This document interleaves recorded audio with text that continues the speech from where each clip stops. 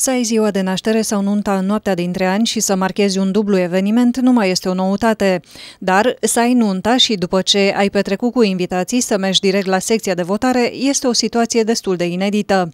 Și asta pot să o treacă la capitolul experiență de viață doi tineri din Baia Mare care, după noaptea anunții, au mers să voteze. 5 iunie va rămâne cu atât mai mult în memoria lor cu cât Mirele se afla și pe lista de candidați pentru Consiliul Local.